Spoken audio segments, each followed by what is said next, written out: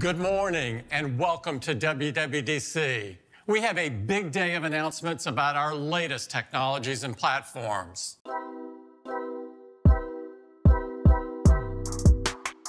And the Mac business has never been stronger.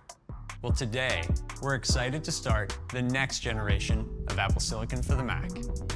Introducing M2.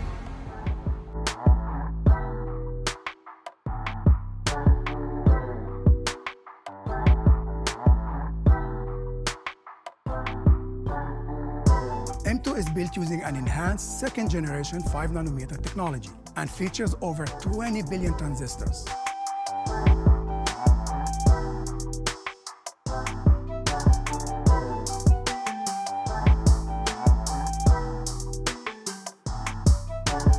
And when it comes to performance, M2 takes it even further. So applying filters and effects in apps like Photoshop is up to 20% faster than before, and a massive five times faster for customers that haven't yet upgraded to Apple Silicon. And for intensive workloads like editing complex timelines in Final Cut Pro, performance is nearly 40% faster than the previous Air.